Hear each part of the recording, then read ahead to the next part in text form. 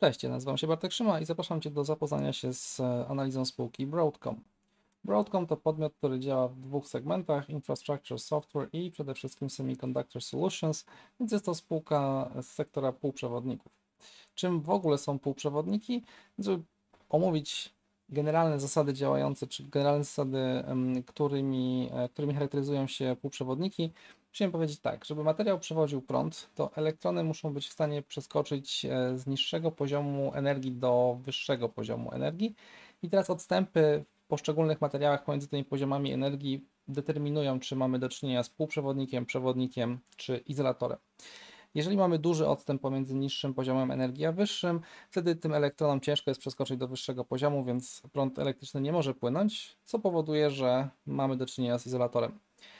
W przypadku metali nie ma tego odstępu w ogóle, albo ten odstęp jest bardzo niski, w związku z czym mamy do czynienia z e, przewodnikiem, ponieważ elektrony mogą bez problemu przejść do wyższego poziomu energii i prąd elektryczny może płynąć. Natomiast półprzewodniki są gdzieś pośrodku tych dwóch, tych trzech, e, przepraszam, e, tych trzech możliwości. Są to materiały, które charakteryzują się średniej wielkości przerwą energetyczną. Generalnie półprzewodnik nie będzie przewodził prądu w pokojowej temperaturze, ale przewodzi, kiedy jest gorący.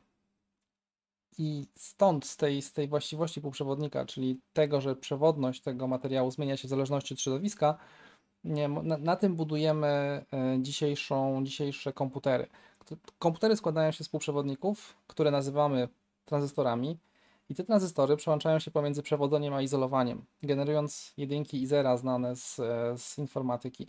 W urządzeniach elektronicznych do tego, żeby e, zmienić odstępy energetyczne w półprzewodnikach, czyli właśnie doprowadzić je do stanu przewodzenia bądź izolowania, będziemy używali pól elektrycznych. Generalnie dowolna energia e, doprowadzona do takiego materiału powoduje zmianę tych, tej właściwości przewodności. Natomiast w przypadku urządzeń elektrycznych dużo bardziej rozsądne jest e, używanie pól elektromagnetycznych do tego, mm, żeby zmieniać, e, żeby zmieniać przewodność niż dostarczanie ciepła, tak? Te, te materiały grzeją się same z siebie, więc do, do, doprowadzanie dodatkowego ciepła nie ma większego sensu.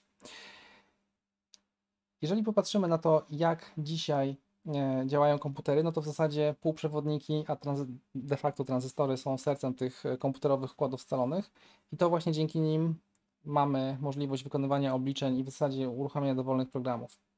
Jeżeli weźmiemy pod uwagę materiały, jakie są na dzień dzisiejszy używane głównie e, w produkcji chipów, to będziemy mieli do czynienia z krzemem bądź z germanem, głównie z krzemem.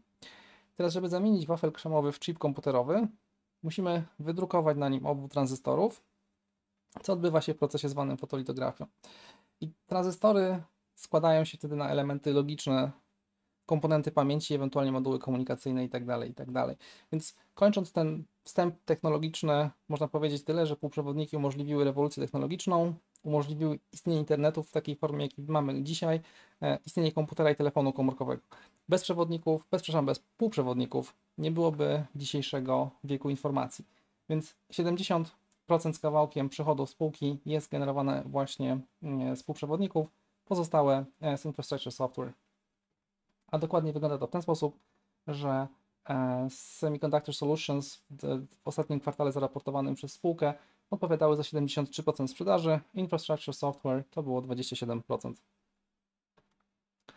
Jeżeli chcielibyśmy zastanowić, w jakich urządzeniach możemy odnaleźć e, chipy produkowane przez tą spółkę, to właściwie są one na każdym etapie naszego, nazwijmy to, eksplorowania internetu, czyli e, znajdziemy je w urządzeniach, które są w data centers, znajdziemy je właściwie na każdym etapie infrastruktury naszego dostawcy usług internetowych, ale również znajdziemy takie chipy w urządzeniach, którymi my odbieramy, czyli którymi my, mm, z których my korzystamy do tego, żeby mieć dostęp do, e, do internetu, czy to, będzie, czy to będą nasze telefony komórkowe, czy to będą routery, mm, czy to będą różnego rodzaju switche i modemy. Te wszystkie urządzenia wykorzystują chipy e, produkowane przez Broadcoma.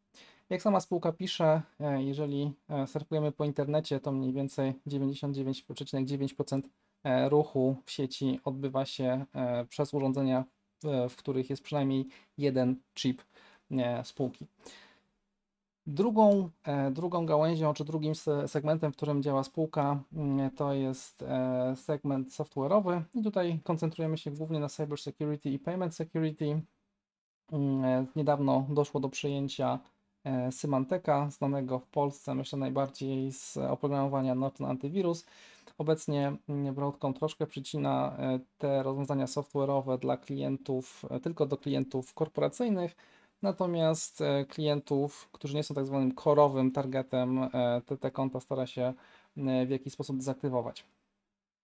Jeżeli chodzi o możliwości rozwoju spółki w najbliższym czasie, poza oczywiście najbardziej naturalnym pomysłem na to, że mm, Internet of Things i komunikacja, czyli chipy odpowiadające za moduły w urządzeniach odpowiadające za komunikację, są właściwie pakowane już wszędzie. W tej chwili są pomysły na to, żeby nawet lodówka e, mogła mieć e, sporą ilość elektroniki, która będzie nas informowała na przykład o tym, że kończy się mleko, albo wręcz żeby to mleko sama zamawiała łącząc się z internetem.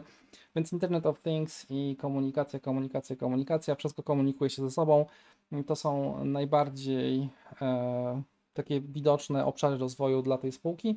Natomiast jeżeli chodzi o, mm, o to, co już w tej chwili mamy czyli dzisiejsze telefony, dzisiejsze, dzisiejsze urządzenia, one też będą poddawane procesowi modernizacji, więc to jest kolejny jakby etap, mm, gdzie te rozwiązania oferowane przez Broadcoma będą wykorzystywane. No i tak, jeżeli popatrzymy na raporty IDC, e, przykład smartfonów, poza tym, że smartfony generalnie jako rynek będą rosnąć raczej wolno, to jest wzrost raptem parę procent e, w skali roku. O tyle mm, kolorem fioletowym i kolorem niebieskim zaznaczono mm, smartfony, które są sprzedawane z modułami 5G na fioletowo i 4G e, tym kolorem mm, niebieskim. I mniej więcej do 2025 roku według IDC około 75% e, smartfonów będzie już sprzedawanych z technologią 5G. Bardzo podobna sytuacja będzie miała e, miejsce w zakresie rozwiązań Wi-Fi. Obecnie wchodzi standard w wersji 6.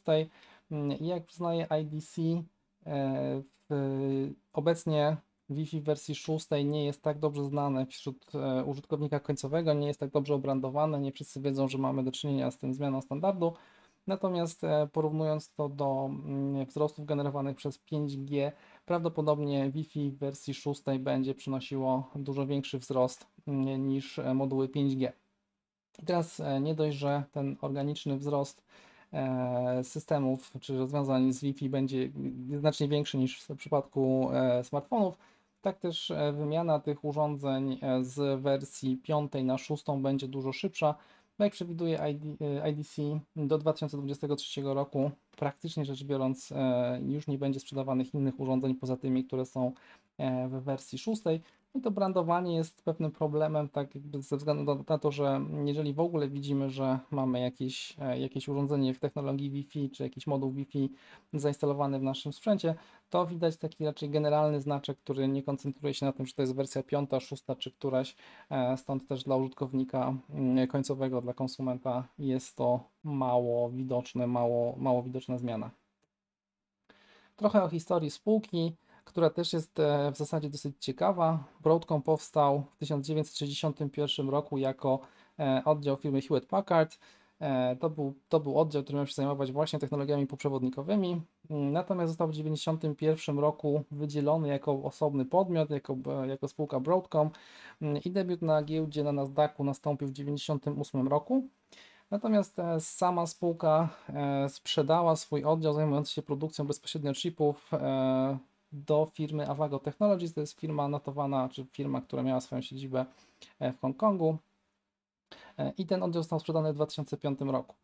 E, cała historia przewinimy powiedzmy o 11 lat do przodu i okazuje się, że Avago kupuje starego Broadcoma, czyli spółka, spółka wydzielona wcześniej z Broadcoma, kupuje spółkę matkę, przyjmując jednocześnie nazwę grupy tej spółki matki, czyli zostajemy przy nazwie Broadcom. Natomiast e, jeżeli ktoś by się zastanawiał, dlaczego obecnie Broadcom notowany jest jako pod tickerem AVGO, to właśnie stąd, że e, de facto jest to spółka Avago Technologies, która, e, która przejęła spółkę matkę.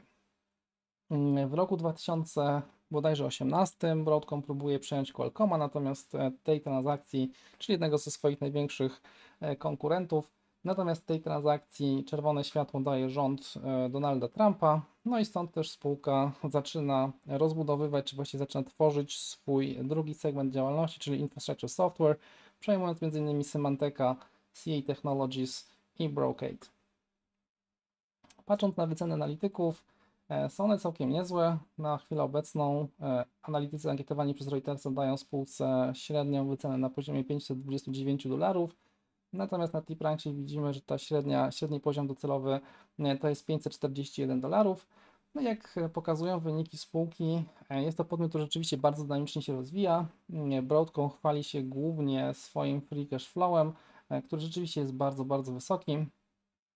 Również charakteryzuje się bardzo wysokimi dynamikami.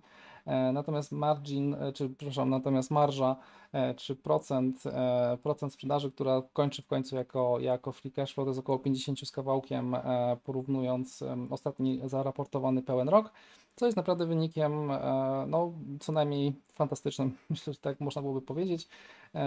Bardzo podobne wyniki spółka pokazuje na poziomie EBITDA, naprawdę jest się czym pochwalić. Więc przechodząc już bezpośrednio do finansów tej, tego podmiotu, E, przychody ze sprzedaży rosną w tempie około 16% średnio rocznie. EBITDA 24 z kawałkiem, zysk po wyłączeniu wydarzeń jednorazowych, czyli zysk e, po, po wyłączeniu właściwie one-offów około 18%, z tym, że tak jak wspominałem, to nie jest spółka, która, która tutaj jakoś nadzwyczajnie będzie się przejmowała akurat samym zyskiem netto, czy zyskiem na akcję. E, cash działalności operacyjnej, tak, czy takie największe proxy na, na free cash flow, 37%.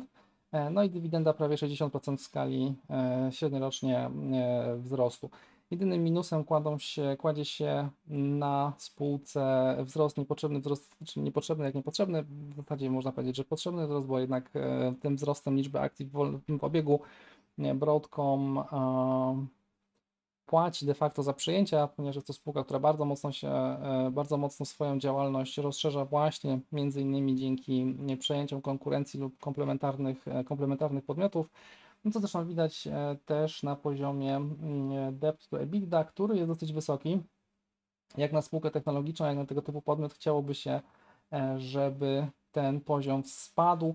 Trójka jeszcze nie jest e, może poziomem tragicznym, natomiast zdecydowanie jest już w górnych e, granicach bezpieczeństwa. Także e, jest to też coś, co spółka sama widzi i w planach rozwoju jest zdecydowane zmniejszenie mm, wskaźnika debt to EBITDA poniżej 2, co jest zdecydowanym pozytywem. Zarząd widzi ten problem i adresuje go w pewien sposób, także na pewno jest to, jest to coś, coś dobrego. Jeżeli chodzi o wyceny, w zasadzie rzecz ujmując, klasycznie spółka nie jest jakaś bardzo, bardzo droga. Mm, natomiast e, w, w latach 2018-2019 była sporo tańsza niż obecnie, e, także te wyceny były e, dużo bardziej atrakcyjne, dużo, dużo ciekawszym, ciekawszą okazją był w tym czasie Broadcom. Z mojej strony to tyle. Dzięki wielkie za uwagę i do usłyszenia następnym razem.